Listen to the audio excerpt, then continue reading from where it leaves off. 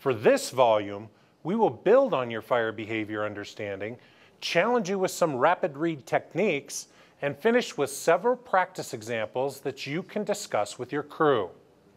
Please keep in mind that the first fire engineering reading smoke training DVD outlined the reading smoke process with a bit more detail.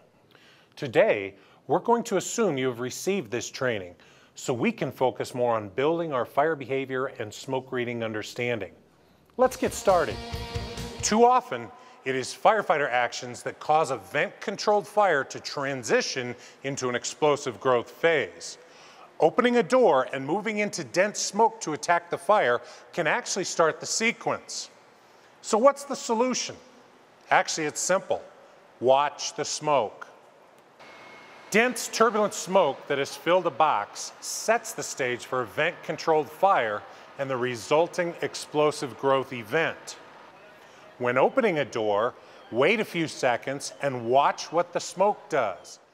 Now it's time to do some big picture scenarios. We have chosen several scenarios that can help you further develop your reading smoke skills. There are no trick examples, and each one does have enough information to help you figure out the fire. We'll use the same format, but now you'll have more questions to discuss.